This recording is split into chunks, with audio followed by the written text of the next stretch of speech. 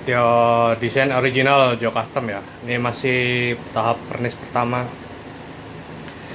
Jadi kita pakai ada bling blingnya gitu bro. Ada bling blingnya gitu. Oke.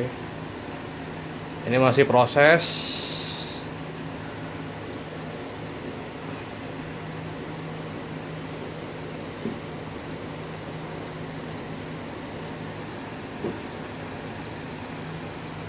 Oke. Desain original by Joe Custom Project. Thank you very much.